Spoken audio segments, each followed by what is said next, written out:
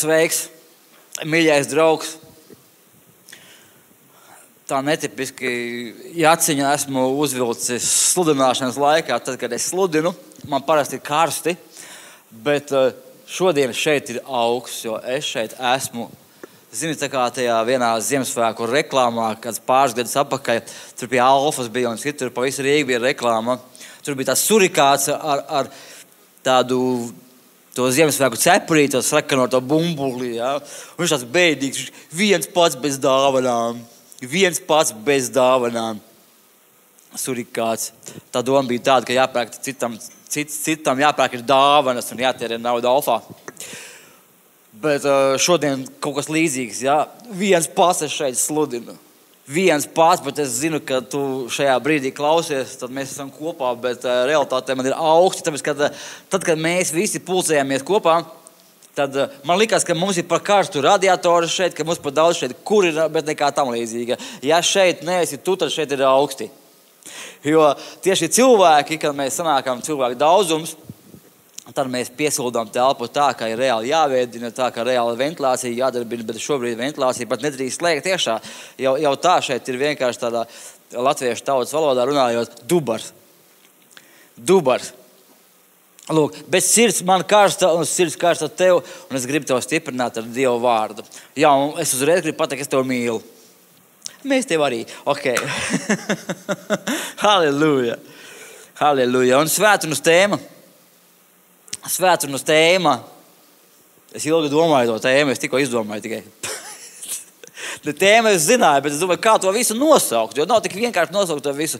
Es to nosaukšu tā baigi gudri. Laika amplitūda. Laika amplitūda. Laika amplitūda. Kas ir amplitūda? Amplitūda ir starpība starp mainīga lieluma, minimālo un maksimālo vērtību. Ja, mē, ja mēs viņu uzzīmētu amplitūdu, viņa izskatītos tā. Jā, nevis taisna līnija, bet lūk, tāda - augšā, lejā, augšā, lejā, augšā, lejā. Amplitūda. amplitūda. To sauc par amplitūdu. Starpība starp augstāko punktu un zemāko punktu. Lūk, tā viņi mērās. Un kāpēc es nosaucu tieši laika amplitūdā? Tāpēc, ka nu, būtu, tā, būtu tā ļoti kristīgi debesu valstības amplitūda. Bet reizē es nerunāšu tikai par debesu valstības un parādībām, par svārstībām debesu valstībā. Šeit ir zemes. Es runāšu arī par pasaules svārstībām. Piemēram, naudas, zelta vērtība, degvielas vērtība, enerģijas vērtība, viņai ir amplitūda, viņa svārstās. Viņa svārstās. Un, ja 20 gadus atpakaļ tu papētīsi, cik maksāja degviela no šodienas, tur būs ļoti, ļoti liels svārstības. Starp to, kas bija toreiz un šodien, ļoti liels svārstības. Dažādās cenās, dažādās vērtībās, un tieši tāpat arī kristīgās vērtības, ģimenes vērtības. Ja tu paskatīsies gadus atpakaļ, būs ļoti liels svārstības salīdzinoši ar šodienu šeit. Kas bija vērtības toreiz, kas ir vērtības šodien? To pašu var teikt. Pirmkārt, jau, ja mēs nosaucam šos frediķus par debesu valstības, jeb dievu valstības amplitūdu, tad tas būtu, kur kādā laikā kaut kur izceļas atmodas. Kur notiek pārvērtības un cilvēki pieskaņojās dievišķām vērtībām, Bībeles vērtībām. Tāda bija Amerika. Tāda bija Amerika, tad, kad Amerikas tēvi to dibināja. Es domāju par visiem štatiem, par Amerikas Savienotajām valstīm, nevis par pašu Amerikas kontinentu. Amerikas konstitūcija, kas tika celta uz kristīgiem pamatiem, tie bija desmit bauši. Bībeles skolā, Bībeles tiesā, Bībeles visur. Nu, tā tradīcija jau ir saglabāta. Arī Baidenam nācās likt roku uz Bībeles formāli. Tad, ja mēs salīdzinām to Ameriku toreiz un Ameriku šodien, tā būs tāda amplitūda būs mainījusies. Tur bija augstākais punkts debesu valstībā, un šobrīd viņš ir zemākais. Jau ir. Ja Amerikā mēs zinām, ir republikāņi un ir demokrāti. Un visa politiskā situācija uh, valstī nosaka dažu balsu pārsvars tikai, jo viņas tās, tā, tās divas puses ir ļoti līdzīgi lielas. Pietiek viens balss pārsvars tur vai tur pāris balss, un uh, tur mainās visa situācija valstī. Nu, šobrīd ir uh, liberāļu pārsvars. Ja tā saucamā demokrāta, kuriem ar demokrātiju nav nekā kopīga. Pilnīgi nekā nav kopīga. Viņam daudz vairāk ir kopīgs kaut kas totalitārs, bet ne ar demokrātiju. Republikāņi, ja tie ir konservatīvi, arī šodien arī Latvijā ir, ir konservatīvās vērtības, ir liberālās vērtības. Un tā ir amplitūda. Un kad Amerikā, lūk, kad šīs vērtības uh, ir uh, cieņā, ka šīs vērtības tajā laikā, kad viņas bija cieņā, kad viņas respektēja, kad uh, draudzes bija plaukstošas un zaļošas, Līdz ar to, nevis līdz ar to, bet otrādi. Ja, kamēr draugs bija aktīvs, kamēr draugs strādāja, kamēr starp citu visas, piemēram, grāmatas, ja, Richarda Lerdona grāmatas Dieva ģenerāļa, ja kāds nav lasījis, es varu tikai nu, just to līdzi, ka tu neesi lasījis, bet tur ir Dieva ģenerāļi, tur, tur ir liela daļa Amerikas ģenerāļi. Tieši tā laika, ja, tur 50. gadi un vēl pirms tam, ja, tie gadi, kad uh, formējās viss šis Amerikas raksturs kristīgais. Kad ir vājas draudzes, tad ir vāja arī vāja politika un arī šī amplitūda iet lejā. Šī dieva valstības amplitūda iet lejā. Kad draudzene ir stipra, tā iet augšā.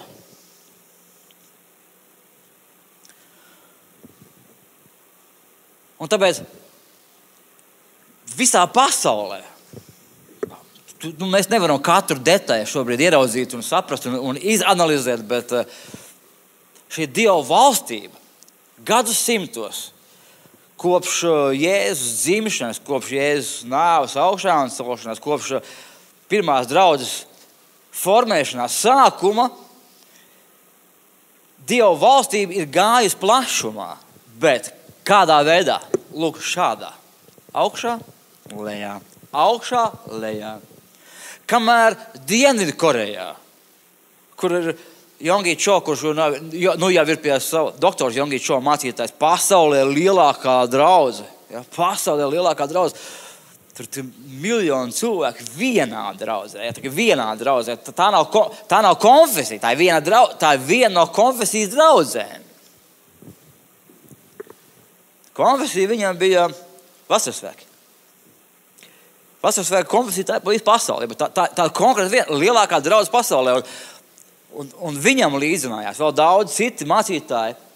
Un draudzes Korejā aug kā sēnes pēc lietas. Mēs redzam arī šodien, kāda uh, Dienvidu Koreja kāda ir kļuvusi. Kas, nebūtu, kas bija nekas, kas bija totālā nabadzībā. Viņa bija nekas. Uzplaukums. Bet turpat blakām ir Ziemeļkoreja, kur ir pavisam cita situācija. Pavisam cita situācija kur ir totāls totalitārisms, un kur par to, ka tu tici dievam, ja piemini dievu vārdu, tu vienkārši sēdi koncentrācijas nometnē. Nu, nesēdi, tu tur strādā. Ja lēnām izliet garu. Lūk, tāda situācija. Viena tauta, kas ir sadalīta divās daļās. Lūk, visa debesu valstības amplitūda augšā, lejā. Augšā, lejā, kamēr vienā vietā, kamēr vienā pasaules daļā iet augšā, citā iet lejā.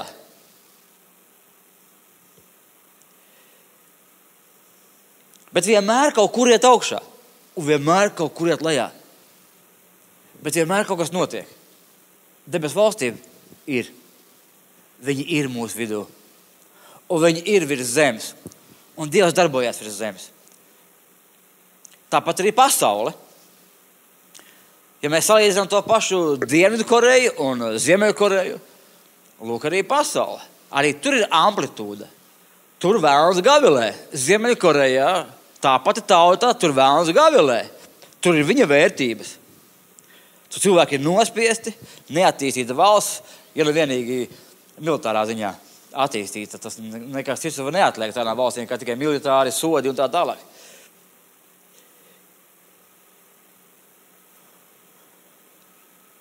Laika amplitūda nepārtraukti pasaulē viss mainās augšā, lejā, augšā, lejā, amplitūda gan draudzē, gan politikā, visā pasaulē, atsevišķās valstīs, Āfrikā mēs zinām, ka šobrīd kristiešu draugs augļojas un vairojās. Un tur ir par jaunīšo mēs visi zinām, tur ir miljoni cilvēki. Bet izrādās, ir cilvēki, kas vispār par sevi tā īpaši nav pieteikuši pasaulē, bet uh, trīs miljoni vienā draudzē. Āfrikas valstī. Trīs miljoni vienā draudzē. Kur Ukrāņi brāļi mums stāstīja, kas tur bija bijuši. Viņas ved uz šo draugu, viņi brauc garām baigām lielām mājām. Wow! Viņš domāja, wow! Kas jums pēkā? Tās ir tikai tolets. Ja? Bet tās bija tikai tolets. Kur Jēzus dievkalpojuma laikā Jēzu pieņemta veda ar autobusiem. Dievkalpojumā veda ar autobusiem.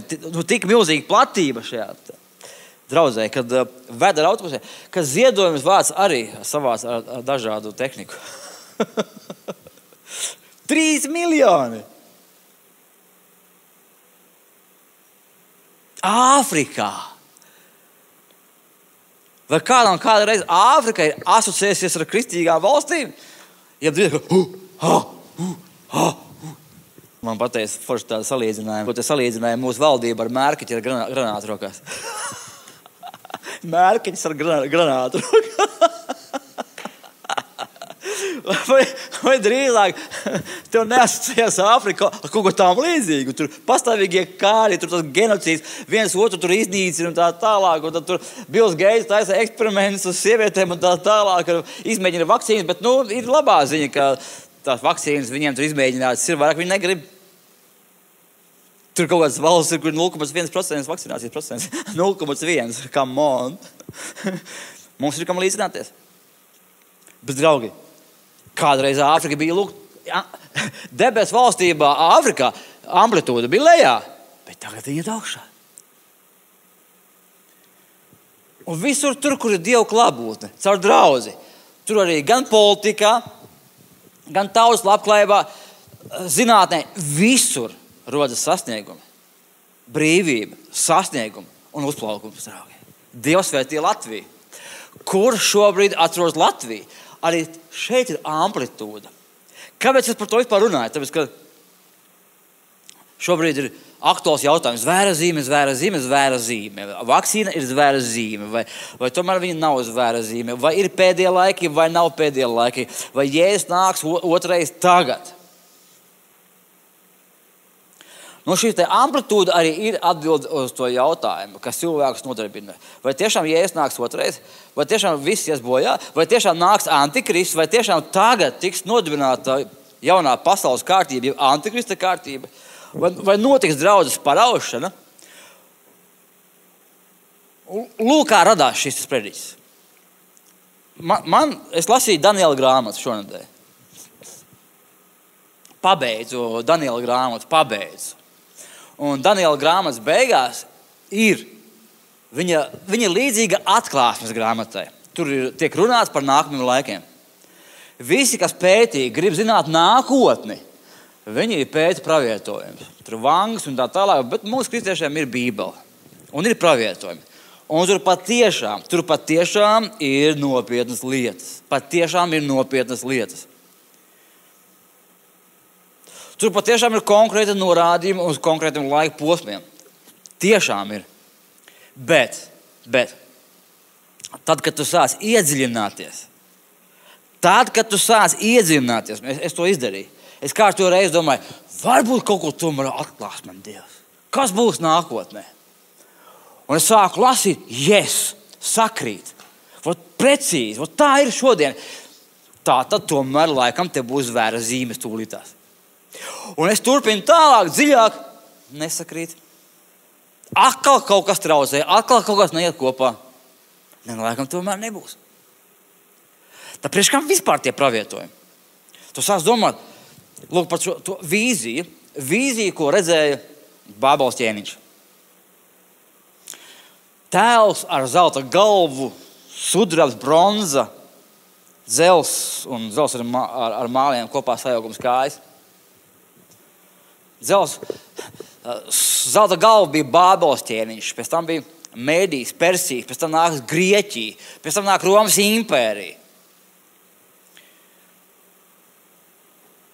Un tu sāc pētīt, jā, lūk, viss sakrīt. Bet, kad tu iedzinies, tas pravietojums apstājās jau. Viņš apstājās, faktiski viņš apstājās jau turpat tās dažas simtas gadus uz priekšu tikai no tā laika. Viņš neatiecas vispār uz šodien. Ja, tā adekvāti pieiet, viņš vispār neatiecas. Vai tur dienas šo upuri mainīs, un tur viss izpostīs? Nu, viss jau izpostīja. Jau. Tas viss jau notika reiz jau. Kas ļoti nežēlīgs. Viens no, viens no Aleksandra lielā pēctečiem, Epifāns. Viņš to darīja. Viņš lika zaimot jūtas, viņš lika atteikties no savas ticības, ja viņi nepielūgs viņu dievu. Viss ir noticis, viss ir bijis. Faktiski, tagad tu sāc pētīt tos pravietojumus, un tu sāc pētīt, kas tad gal galā būs. Tu nekādā jēgā tur netiec. Nekādā jēgā netiec. Tas viss jau ir bijis. Mums nav nekādas nākotnes redzams, draugi. Nekas mums nav redzams. Tie, jā, mums ir Bībeles skola, mums ir tur trīs ar pus gadi šitādi, trīs gadi tādi, divi gadi tādi un trīs ar pus gadi pilnīgais antikrists šeit būs. Te neko mēs īstā nezinām, kas te būs. Vai nē, man ir paraus augšā pirms tam. Tad neko mēs, ja godīgi, nezinām. Jo vairāk tu visā tajā iedzināties, jā, mums ir mācība. Tas ir tas, nu, tā adekvāta, tā, tā konstruktīva pieeja Bībelē, lai jā, tā sanāk. Un tomēr simtprocentīgi pārliecība par to nav, ka būs tieši tā. Un ka tas tieši būs lūk tāda, bet ir simtprocentīgi pārliecība par to, ka ir dzīve pēc nāves. Simtprocentīgi pārliecība ir par to, ka tajā brīdī, kad tu nomirsti, tu nonāc demonu debesīs vai ellē. Punkts. Pārliecība ir par to, ka galu galā nāks Dieva valstība virs visas zemes. Ne tikai amplitūdas veidā, bet virs visas zemes. Ir pārliecība. Jo būs. Kad? Nezinu. Mūžībā noteikti. Kad tu, tagad tu pārēji no šīs dzīves mūžīgajā dzīvībā, tad tu nonāc Dieva valstībā, kur vairs ne asars, ne vaida vairs nebūs. Punkts. Bet tajā pašā laikā Bībele runā par tūkstošu gadu Dieva valstību. Runā, būs. Būs, kad būs, nezinu. Viss ir slikti Latvijā, bet Dieva vārds mums māca. Amplitūda, viss mainās. Arī Latvijā viss var mainīties. Kad? Nezinu. Nezinu, kad. Bet es varu pateikt, kā un kad. Nevis minot precīzi datumu, bet dažus citus aspektus. Un tāpēc es vēlreiz par šo te. Es to tuvu pravietošu un pateikšu, kad tas būs. Kad Latvijā, kad Latvija būs Dieva svētīta. Es to pateikšu, to, kad viņa būs. Es to arī pateikšu, arī to, kad būs šī tūkstoša gadu Dieva valstība. To visu var pateikt. Tu gribēsi konkrēti datumus, nav konkrēti datumi, bet būs kaut kas, pēc kā varēs spriest. Skaties, vīzija, ko rādīja, ko Daniels tulkoja ķēniņam, Nebukadneceram, viņi tiešām atbilst. Visi šie ķēniņi, kas nāca pēc mēdieši, persieši, visi perfekti atbilda. Arī pārējie pravietojumi, kas ir at, Daniela grāmatā, viņi attiecās gan uz Aleksandru Lielo un tā tālāk, nu, uz vairākiem simtiem gadiem uz priekšu vēl. Bet tā, tā īsti viņi neataino šodienas notikumus. Par šodienu tur pa lielam ir tikai viena. Būs tūkstošu gadu valstība, nāks Dieva valstība, būs Dieva valstība. Un tie pašā laikā būs lūk tā. Kā, kā, kā Jēzus pravieto? Kā viņš saka? Šur tur būs kari. Šur tur ir kari, beigas klāt. Kad nav bijuši šur tur kari? Jēzus ir baigais viltnieks vispār. nu tā sanāk. Ja? Šur tur būs kari. Nē, viņš nav viltnieks. Viņš ir gudrs. Viņš ir gudrs.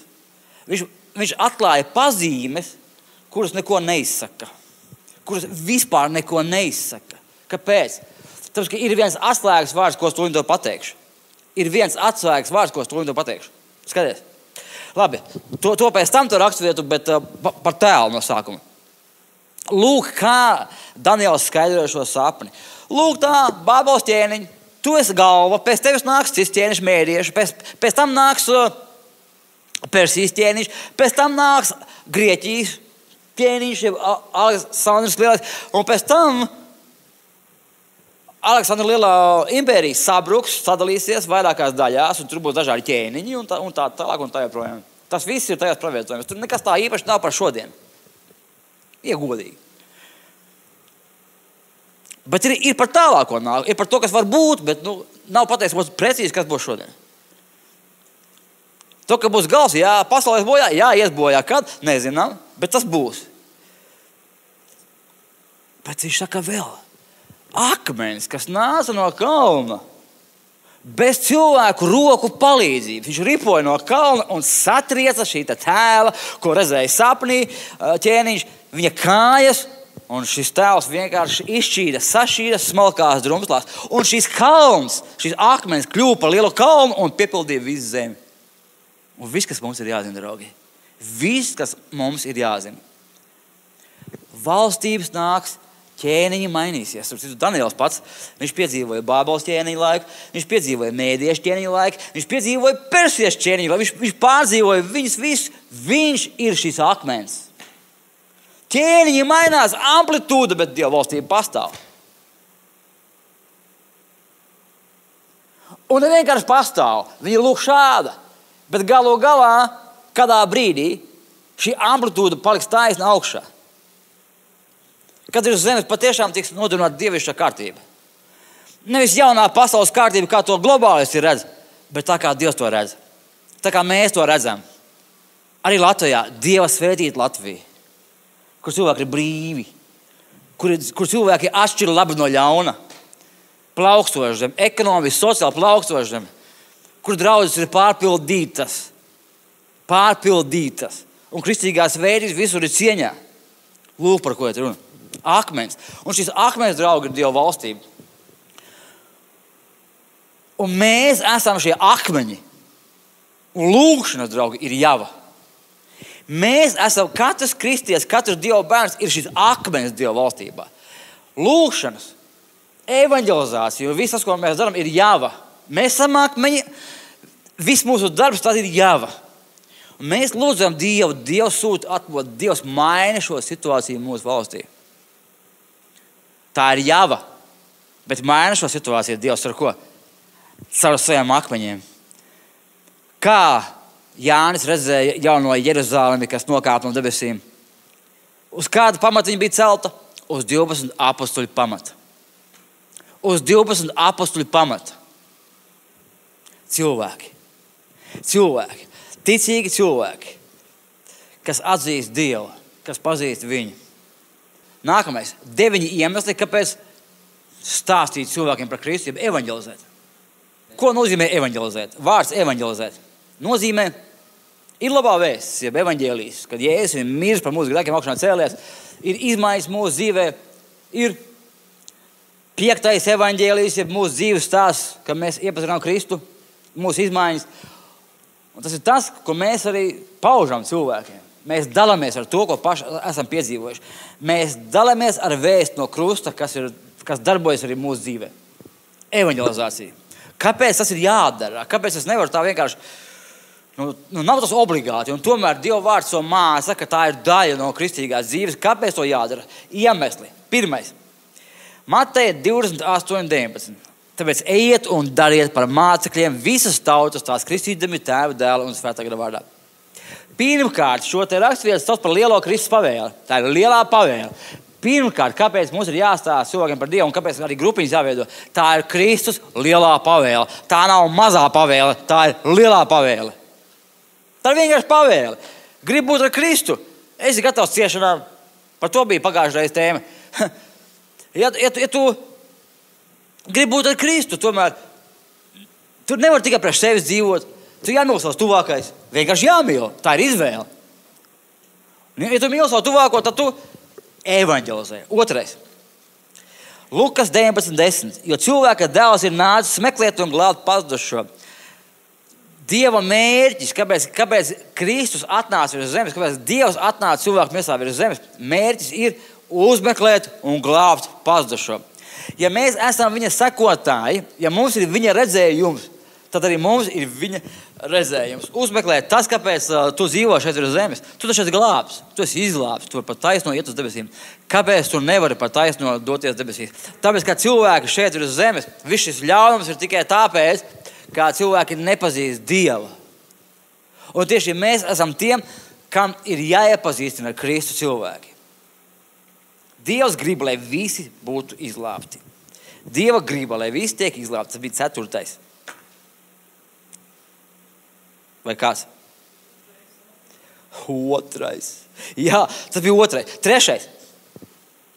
Tas bija otrais. Trešais. Romiešiem 39. Jo baušļi, tur nebūs pārkāpta laulība, tur nebūs nokaut, tur nebūs zakt, tur nebūs iekaru. Ja vēl ir kāds cits balss, saņemami kopā šī vārdā, proti, mīl savu tuvāko kā sev pašu. Tāpēc, kad mīlestība, pirmkārt, agape mīlestība, tas ir mans lēmums, emocionālā. Tas ir fileo, fileo mīlestība, ka tu visu jūti, visu piedzīvo. Tas viss ir ļoti labi, un tomēr mums pirmkārt ir jāsaprot ar agape mīlestību, ar, ar savu lēmumu, ka Evangelizācija un mācekļu veidošana ir visas mīlestības un balstības kopsavilkums. Mīlestība to kaut kā sev pašu. Nu, ko vēl vairāk var novēlēt cilvēkam, kā pazīt Kristus personīgi? Ja tev ir Kristus, tev ir viss. Ja tev nav Kristus, tad tev nav Kristus. Tas ir uh, Egīla Levita vārdiem. Ja tev nav Jēzus, tad tev nav Jēzus. Nē, nevis ne, ar vārdiem Egīla Levita, bet ar stilā. Egīla Levita, tas ir jauns stils. Kad nav jēzus, tad nav jēzus, tad ir bardaks. Tad ir bardaks pasaulē, ka nav jēzus cilvēkiem.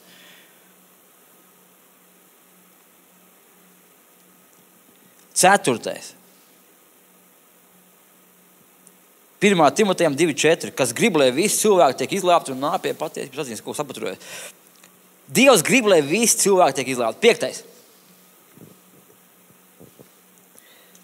Jēzus staigāja apstaigāja visu pilsētas un ciemus, mācīdams viņu sinagogās un sludinādams valstības evaņģēlīju un dziedinādams visas sēklas slimības. Jēzus staigāja no vietas, vietas uz otru sludinādams. Tad šeit es nerunāju par grupām, šeit es nerunāju par komandu, par draugu, bet uh, Jēzus to darīja. Viņš staigāja no vienas vietas uz otru. Cik šodien viegli ir internetā, draugi? Tu esi Latvijā un kaut kur Āfrikā nu, es neiesaku ar afrikāņiem, bet uh, tas ir precīzi piedāvājumi no afrikāņiem.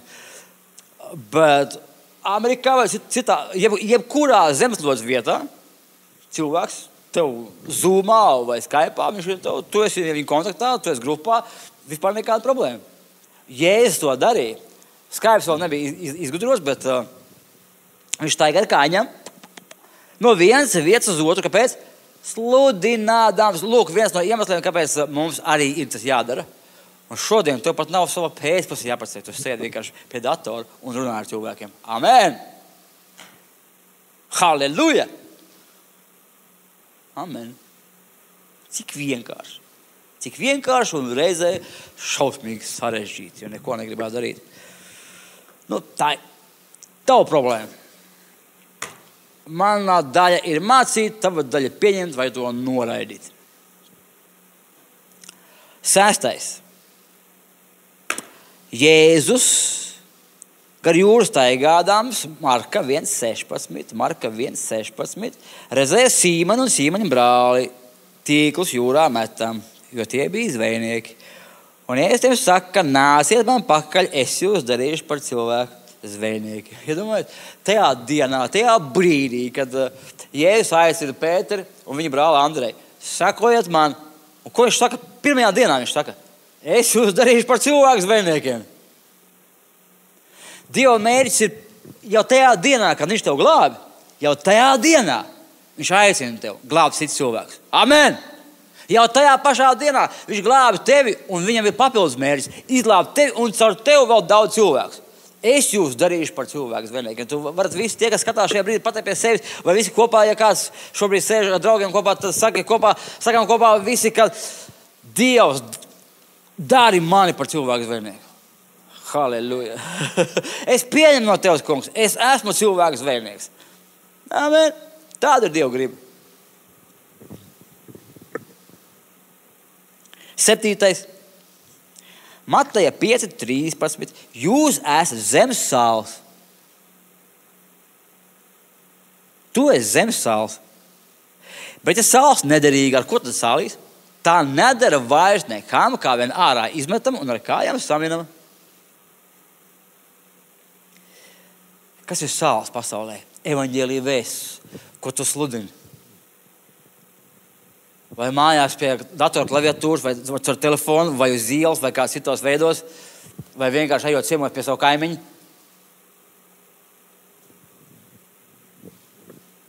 Bībelē saka, tie ir Jēzus vārdi. Ja sāls ir nederīga, tā ārā izmetama. Tas nozīmē, ja kristietis ir nesālīts, ja kristietis vairs neevanģelizē, viņš nekam nav derīgs, ārā izmetams. Lūk, kāpēc arī ir nu, par nožēlu jāsaka, tiešām draudzēs eh, ir diezgan bēdīgs stāvoklis. Kad mēs visu šo ārprātu esam pieņēmuši tik viegli, tas ir rādītājs. Tas ir rādītājs. Mums jābūt zemes sālī. Astotais, Marka 8, 16. Un tie runāja savā starpā, ka tiem nav maijas laivā. Viņi bija aizmirsuši maizi paņemt līdzi, un Jēzus stāstīja par farizēju augu. Viņi bija kopā ar Jēzu laiviņā evanģelizācijā. Viņi bija Dieva darbā kopā ar Jēzu laiviņā. Un mēs aizmirsām maizi paņemt līdzi. Viņš laikam par to runā. Un es teicu, jūs vēl nesaprotat. Vai jūs atminaties tos 5000, tās 5 maizes un 2 zivis? Cik paēda cilvēku 5000? Jūs atminaties? Jā, atminamies. Nu, ko tad jūs runājat, ka jūs maizes nav? Jēzus dod saprast šajā raksturvietā, ka tie, kas ir kopā ar mani evanģelizācijā, tiem nekad maize netrūks. Tie, kas ir kopā ar mani, lai es izbrīvēšu laiku, tagad kaut ko nedaudz paņemšu, kaut ko nost, ja man jāpaevanģelizē un es kaut ko zaudēšu savu naudu vai zaudēšu kaut ko citu. Bet Dieva vārds saka tieši otrādi. Tiem, kas būs kopā ar viņu evanģelizācijā, tiem nekas netrūks. Amen! Tiem nekas netrūks. Protams, šeit neatceļās elementāri, elementāri principi un, un, un saprāts veselais. Un tomēr, un tomēr es tev varu garantēt, ja tu nedarīsi to, tu būsi bēdīgāks, bēdīgāks, bēdīgāks, bēdīgāks un pēc tam tu būsi pasaulē. Nu, tāda ir tā kristietība. Ja mēs neklausām Dievu, nu, elementāras lietas, ja, ja varbūt ir kaut kādas problēmas, ar kurām tu cīnīsies. Varbūt kāds atkarības, kurš ir, ir spēcīgāks par tevi konkrēti. Ja tu vēl neesi izaudzis, bet, bet cik, cik tālu ir jāizaug, lai pastāstītu cilvēkam evaņģēlīju vēsti. Personīgi es pirmajā dienā, kad iepazinu Kristu, pirmajā dienā, tiklīdz ieraudzīju dzīvu cilvēku, tā nebija pirmā diena, jo man nebija dzīvu cilvēku apkārt, bija kamerā viens pats. Tiklīdz es tiku ārā, un pirmie divi cilvēki, kas bija tādi, ar kuriem nevajadzēja vispār kontaktēties, ar kuriem nevajadzēja runāt nemaz. Es devos pie viņiem klāt un noskaitīju evaņģēlīju vēsti. Un pēc tam gaidīju, kas būs, vai man sitīs, vai kas notiksies. Un tad viņam bija divi, viens, viens tas grūzīnis bija, otrs bija, Azerbaidžāns, nezinu, bet krievis runājuši, otrs bija, krievs bija tādās kepkās, tādās lielās somās. Es tur tās narkomāns tikko no brīvības, tikko pie Dieva atgriezies un stāst viņam, kā viņš ir jēzus redzējis, eņģeļus tur redzējis, tur, kā viņam tur viss izmainījās, viņš brīvs, viņš trīs dienas brīvs, viņš brīvs un stāst viņam to visu ar acīm. Un tie tur tādi skatās, skatās, man tur tādi, es izpateicu, tur jau viss Dievs karač ir. Un, Viņš izlāpa mani un man viss jau tā kaut kā. Viņi klusēja ap divu no sākuma. Paskatās viens uz otru. Un man tā sajūta bija, nu, sitīs. Vai, nu, ko darīs viņi? Un tas, tas tumšākais azerbaidžānis, kas viņš bija, krievam saka. Nu, я же тебе говорил, что Бог есть. Es jau teicu, ka Dievs ir. Izrādās, ka viņi tajā pašā laikā, kad es piecinu no augšas, kaut kur blakus kamerā sēdējuši, bija un diskutējuši, bija, vai Dievs ir vai nav. Un tas atzīmēs Benžāns bija stāstījis tam krievam, ka nu, Dievs ir, bet tas krievs tas Dievs nav. Es teicu, ka Dievs ir. Atnāk viens trakais tādām acīm, ka Dievs ir. Tūlīt, tik līdz, tik līdz bija iespēja. Tā es sludināju evaņģēlīju vēstu var saprast, ka tur kaut ko netiek galā, bet nevar saprast, ka tu nemīli cilvēks un nestudini viņam evaņģēlīju vēstu. Āmen! To nevar saprast. Un, ja godīgi, to nevar arī piedot. To nevar arī piedot. Nu, kādā ziņā nevar piedot? Viss var piedot, ja mēs atgriežamies, bet ja tu neatgriezies, Tas ir ceļš uz pazušanu. Tas ir atklāta. Nepa. Ja sāls nederīga, tā ārā izmetama un cilvēku kājām saminama. Tā vājā kristietība. Ja? Tā vājā kristietība. Starp citu, tajā vidē, kur es šobrīd esmu, pasaulīgs cilvēks skatās no malas. Viņi ir kristieši vispār. Viņiem, viņi redz tādu kristietību, kāda mums ir. Lūk, lūk, tu esi kristietis. Ja? Kristietis draugs evanģelizē, kristietis cīnās. Kristietis nav tikai jērs, kristietis ir lauva. Cik ērti, vai ne? Mēs esam jēri. Ļoti pareizi. Jēzus bija pazemīgs. Ļoti pareizi. Bet tas pats Jēzus no, novīja pātagu no auklām un izzina no tempļa visu, kas pirk un pārdeva. Tas pats Jēzus Kristus, kas tiesās visus dzīvus un mirušus. Kā priekšā locīsies visi ceļi. Ir rakstīts, ka ir briesmīgi krist dzīvā Dieva rokās. Dievs nav tikai jērs. Vajag lasīt visu Bībeli, gan veco, gan jauno derību kontekstā. Viņš nav tikai jērs. Vēl ir rakstīts, ka ir briesmīgi krist dzīvā Dieva rokās. Un ka bīstieties no tā, kas dvēseli var nomainīt, un miesu nomainīt ellē, nekā tie, kas tikai miesu. Tagad nebīstieties no valdniekiem un bezdievīgiem likumiem. Pirmkārt, no viņa bīstieties.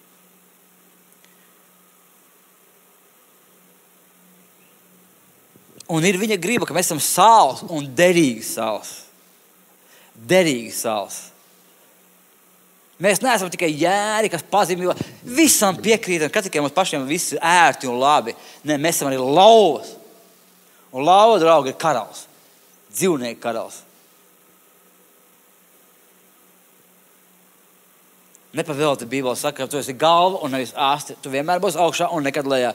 Tad nu, dzīvo tā, lai tu vienmēr būtu augšā un nekad lejā. Lai tava amplitūda vairāk ir augšā nekā lejā. Un kad tu apzinājies to vietu savā amplitūdā, kur tu esi šodien, lai tu varētu augšā, tālāk pacelties. Un draugs, ļoti daudz kas atkarīgs no tā, vai tu paudi, vai tu mīli cilvēku ar to, ka tu viņiem sludini vai tu nē. Jo tā ir lieta, ko katrs var izdarīt. Katrs to var izdarīt. Katrs to var izdarīt. Es redzēju kādu mūsu draugu cilvēku, kurš uh, kaut ko tur nesen TikTokā ir uh, uztaisījis kontu, un tad viņi tur kaut ko runā. Parunā, parunā, vai šodien būs grupiņa tā un tā, un tā, vai nākamā visu, ho, ču, ču, ču, ču. O, tur divi cilvēki, tur pieci cilvēki no vienas reizes. Hokamon. Kurš to nevar, draugi? Nu, kurš to nevar izdarīt? Jebkurš to var. À, jā, tik galā ar kaut kādām savām iekšējām problēmām. Ne uzreiz vienmēr tu vari tā, tā, tā sitienu, ja tev jāpasīnās. Bet, nu, tur nekāda cīņa nav vajadzīga īpašā, lai, lai pastāstītu cilvēkam par Dievu. Nu, kā vien tas, kā nu atvērt muti un sākt runāt. Tas zini, ko nozīmē vārds pravietot. Pravietot. Ja? Viņš tūkojumā nozīmē faktiski izlieties. Kā, tu izlēji. Ko tas nozīmē? Tu vienkārši atver muti un runā. Tu vienkārši runā, un tas ir pravietojums. Ja? Ja tu, ja tu esi Dievu garā, tu pazīsti Dievu, tu vienkārši atver mutu un sāc runāt kaut ko labu. Pravietot, jā. Izliešanā. Nu, nu, ej, ej, ej un izlēj savu sirds saturu. Nu, pastāsti savu sirds saturu, kā Dievs tev izglābs. Un pēc tam nākamais etaps, deviņi iemesli, kāpēc grupiņas jāceļ. Jo nepietiek tikai evanģēlijas sludināt, ir cilvēki jāaprūpē, cilvēki ir jāmīl. Pēc kam ir telefons? Kā cilvēks reiz nosauca mūsu draugus par telefona draugu. Zini, šī telefona drauga izauga ļoti stipra. Šī telefona drauga izauga stipra tikai tāpēc, ka viņa bija telefona drauga. Man bija noteikums, ka katru nedēļu savai komandai zvanu vienu stundu. Katram cilvēkam, kas ir manā grupā, viena stunda. Katru nedēļu. Es divas dienas veltīju tikai sarunām. Ja? Divas dienas, tas bija trešdienas un ceturtdienas, laikam, man bija. Un par noslēpumu pateikšu arī visiem, kad uh, tik līdz es palaidu vaļīgāku, un nav tā viena stunda, vai vispār pat nav. Tā ir redzama problēma. Mm. Tāda ir mūsu cilvēka būtība. Katram cilvēkam ir vajadzīga garīgā aprūpe. Nu, sorry. Visiem ir vajadzīga garīga aprūpe.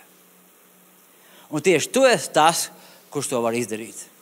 Kalpot citiem cilvēkiem kalpo citiem, uzklāj galdu Dievam, un Dievs uzklās galdu tev.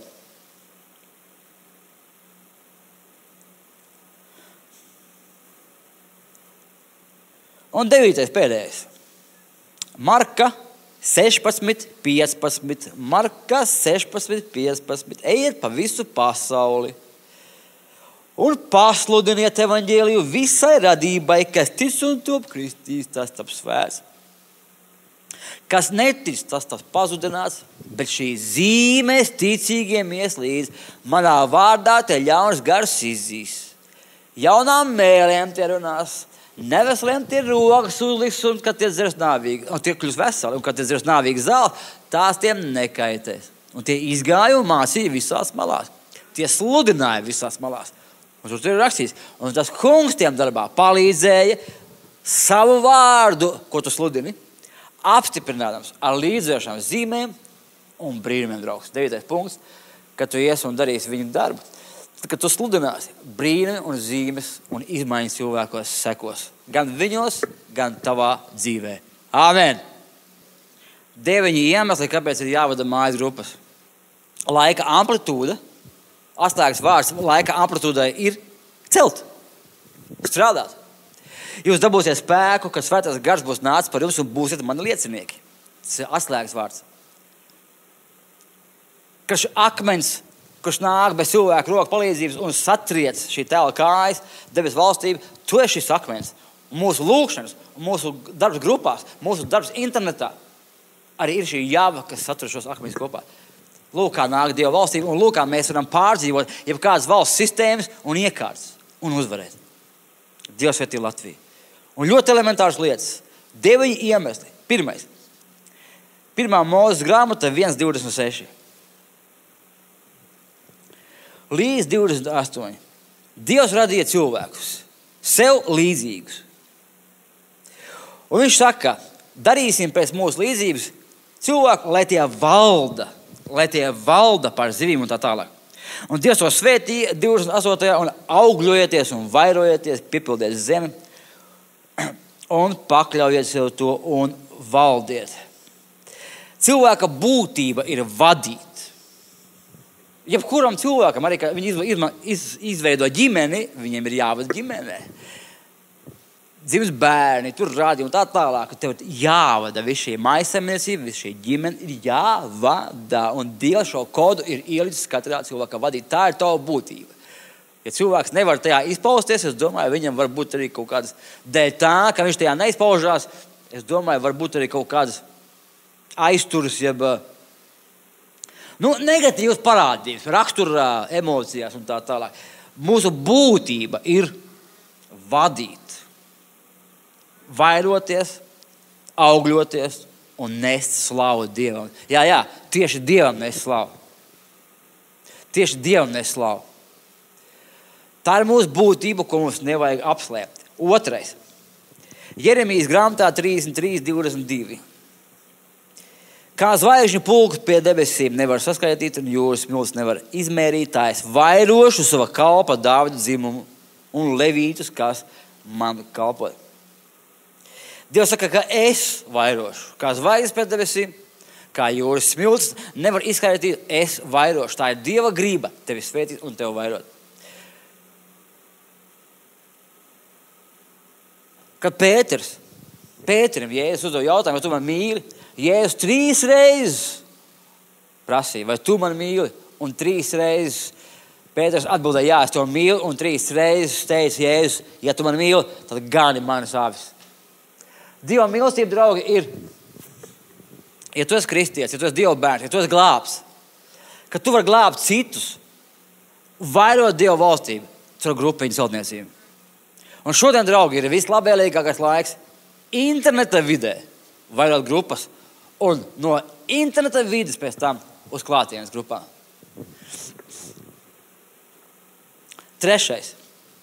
Lukas 8.1. Viņi staigāja pa pilsētām, pa ciemiem, mācīdami ļaudis, un tie 12 bija pie viņa. Jēzus staigāja kopā ar mācekļiem. Viņš dziedināja, viņš izzina ļaunus garus, viņš mācīja, viņš sludināja. Bet kas vienmēr un visur ir faktiski? Vienmēr pie viņa bija 12 mācekļi. Redziet, nepietiek tikai sludināt, netiet, nepietiek tikai brīnumus darīt, Nepietiek tikai vēlams izdīt, kā, kādiem patīk. Es gribu vēlams izdīt, man ļoti patīk. Tas viss ļoti labi, ka tas patīk. Tas ir viss daļa. Tomēr svarīgākā daļa, draugs, ir veidot grupas, ja veidot draugu kā no dzīviem akmeņiem. Nepietiek tikai liecināt. Tā nevar uzsākt Dieva valstību. Ceturtais. Jēzus vadīja savu grupiņu. Mateja 26, 20. Viņš apsēlās ar saviem 12 mācekļiem. Ja mēs gribam līdzināties Kristum, mēs gribam līdzināties Kristum, vai tās nav mūsu uzdevums? Līdzinieties viņam topiet līdzīgi. Mums ir attēls, Dieva attēls virs zemes, Jēzu Kristu. Un, ja mēs patiešām gribam atdarināt viņu un līdzināties viņam, Jēzus vadīja savu mājas grupiņu. Ja tu nevari pats šodien, šobrīd vadīt mājas grupiņu, tu vari palīdzēt to darīt. Tu vari būt daļa no grupiņas. Katram ir jābūt savā grupā, katram ir jābūt savā komandā. Un es personīgi uzskatu, ka jebkurš var vadīt mājas grupiņu. Jebkurš cilvēks, absolūti jebkurš, var vadīt mājas grupiņu. Atkarībā no tā, vai viņš grib iet Dieva ceļos, vai viņš negrib tomēr iet Dieva ceļos tālāk. Katram ir vajadzīga atbildība par cilvēkiem. Galu galā divi, trīs cilvēki tā arī ir grupiņa. Ja tev internetā izdodas uh, viens, divi, trīs cilvēkus savā kopā, tā arī ir grupiņa. Visur viss ir grupās, draugi. Piektais. Apostoli 6.2. 12 mācekļi saicināja visus mācekļus. 12 mācekļi saicināja visus mācekļus. Tāpat kā Jēzum bija savi mācekļi, izrādās arī viņa mācekļiem bija savi mācekļi. Viņš saicināja visus mācekļus. Un tas ir iemesls, kāpēc mums ir jāvada mājas grupiņas, jo viņa mācekļiem arī bija grupiņas. Sestais. Apostoli 2,46. Viņi mēdza ikdienas vienprātīgi sanākt templī, pa mājām te lauza maizi un baudīja barību ar gavilēm un vientiesīgu sirdi. Vienprātīgi templī, pa mājām te lauza maizi un baudīja barību apakstuļu 542. Viņi nemitējās templī un pa mājām ikdienas mācīt un sludināt Kristu Jēzu. Draugi, pirmā kristiešu draudzene sapulcējās mājās. Ne tikai templī, bet arī mājās. Starp citu, pirmā draudzene pulcējās uh, ir zināms, kā bagātu cilvēku mājās. Romas impērijas laikā, vajāšana laikā viņi īpaši to darīja. Bagātu cilvēku mājās. Kāpēc? Tas bija liels mājas, uz kuru nāca noteiktos laikos pieņemšanas, bija politiķi un tam līdzīgi. Un tur vieglāk cilvēkiem bija atnākt un aiziet. Pa mājām. Tad pirmā draudzene pulcējās mājās un gal galā Jēzus mums rāda ar savu piemēru. Lūk, Jēzus, lūk, mana grupiņa. Un manā grupiņā ir vēl citas grupiņas. Viss ļoti vienkārši. Pulcējās. Lūk, iemesls. Pirmā draudzene tā darīja, arī mēs tā darām. Septītais. Bez personiskas kalpošanas cilvēkiem nav iespējams pilnvērtīgi mīlēt un augt pašam. Un augt pašam. Romiešiem 39. Vai ir kāds cits bauslis, saņemami kopā šī vārdā, proti, mīlestība to tuvāko kā savu pašu? Visi desmit bauši ir saimti kopā vienkāršā, vienkāršā teikumā. Mīli savu tuvāko kā sev pašu.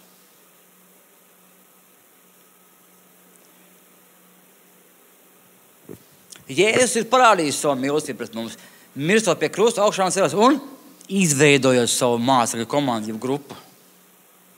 Lūk, mīlestība. Mīli savu tuvāko kā sev pašu. Ja tu esi izaudzis grupā, ja tev ir kalpots, tad kalpo tieši tāpat tālāk arī cilvēkiem. Redzi, 8. 1. Timotejam 5.13. Te ir rakstīts par to, ka draudzē cilvēki mācās dīkā staigāt. Viņas mācās dīkā dzīvot, staigādamas apkārt no mājas uz māju. Ne tikai dīkā dzīvot, bet arī iznākt pļāpas un jaukties citu darīšanās, runāt to, kas neklājas. Iemesls, kāpēc vajag grupiņu vadīt, vēl viens no iemesliem, tāpēc, ka tev vairs nebūs laiks domāt par lietām, kas novirz no Kristus. Pļāpas, dažādi murgi, sviesti dažādi. Dari kaut ko liederīgu, kalpo cilvēkiem, un Dievs kalpos tev. Un devītais pēdējais, kāpēc? Iemeslī, kāpēc vadīt mājas rupiņu. Tāpēc, ka personiskā izaugsme, tu gribi augt. Ja tu vēlies augt, pieaugt Kristu, vispār kā personība, tad uh, ir laiks kalpot cilvēkiem. Personiskā izaugsme aprobežojas, izbeidzas, jeb tieši otrādi uzplaukst ar kalpošanu vai nekalpošanu citiem cilvēkiem. Ebrejiem 5, 12.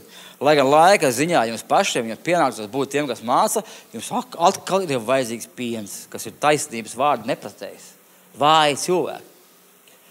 Ir dažādas skolas, kur var mācīties teoloģiju tik, tik bieži var dzirdēt, ka iesim dziļumos, Dieva vārdu dziļumos. Nu, nav lielāka dziļuma, kā zināt pamatus un kalpot cilvēkiem. Nu, nav lielāka dziļuma.